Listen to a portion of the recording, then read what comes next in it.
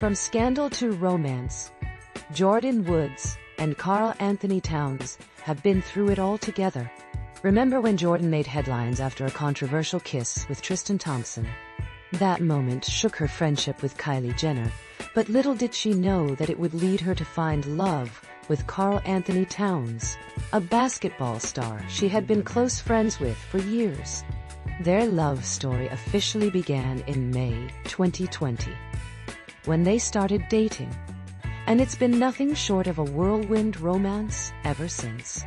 The right person will bring a lot out of you, Jordyn shared in an interview, highlighting the deep connection they share, bonding over the shared experience of losing a parent at a young age. If you're interested in knowing all the details of their relationship timeline, make sure to keep up with our updates. Share your thoughts on this unlikely love story in the comments below.